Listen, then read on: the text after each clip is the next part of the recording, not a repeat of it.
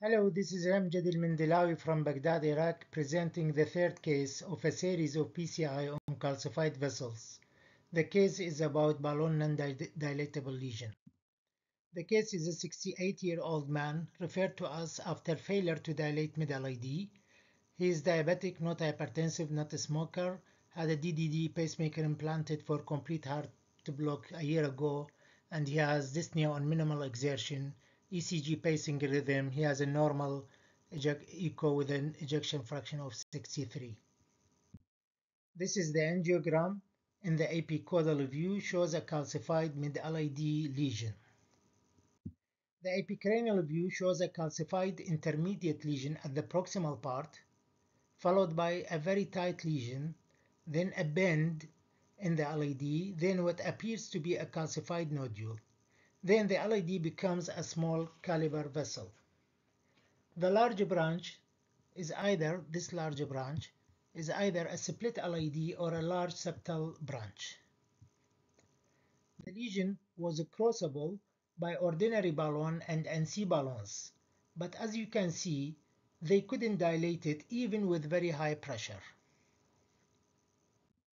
Here we can see the 3O NC balloon almost split into two parts with failure to dilate the lesion. So what to do when you face a lesion that would not dilate?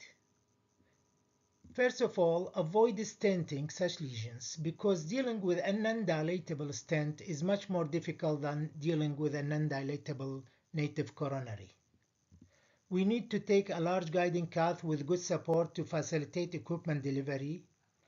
And if possible, intravascular imaging is important to understand the lesion further. And then use balloons.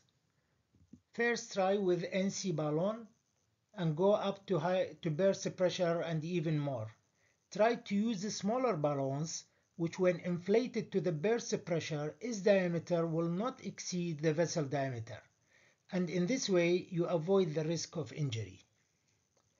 The other thing is to use special balloons like the cutting balloon or the AngioSculpt or the Scoreflex. In this case, the LAD was not dilatable and a Scoreflex balloon was effective in dilating this lesion. If these are not available, to try to pass a wire or two beside the balloon to make it effective as cutting balloon.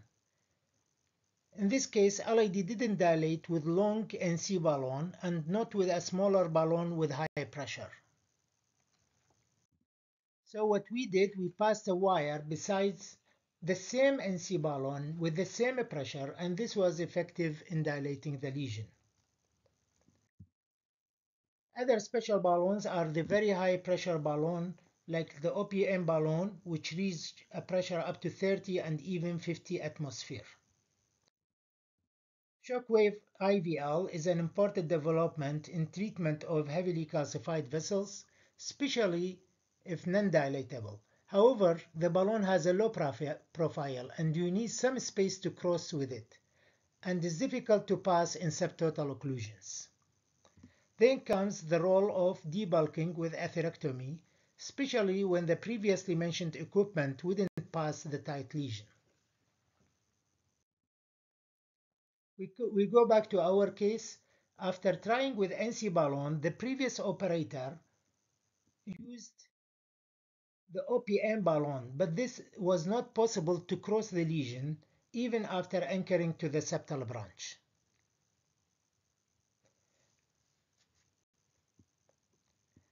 We tried to pass an IVL balloon, and although the NC balloon crossed the lesion, but the IVL balloon did not cross. So we thought that some debulking is necessary, and in this case, we used rotational atherectomy.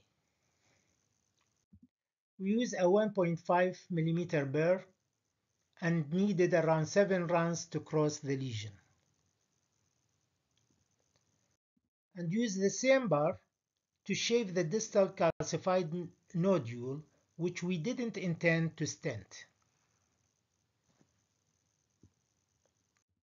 And this is the result after rotational atherectomy. We dilated further with NC balloon 2.5 by 20 and did IVUS. This is the distal LAD, which is rather small. And then comes the calcified nodule. And then an area of normal LAD. Then comes the bifurcation and just before the bifurcation is the tightest part of the LAD with a ring of calcification and then proximal to that there is around 270 or 180 degree arc of calcium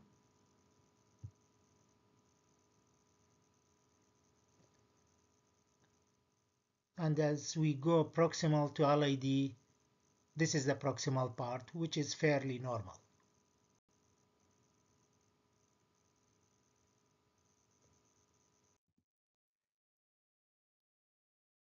So we thought that further action needed because of this ring of calcification.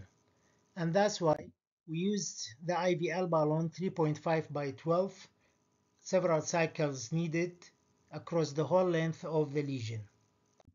And this is the IVUS post the IVL. Here comes the bifurcation and then we can see how the ring was fractured. This is the 80 degree of calcium but the ring fractured here and this is the calcified part which is around 180 degree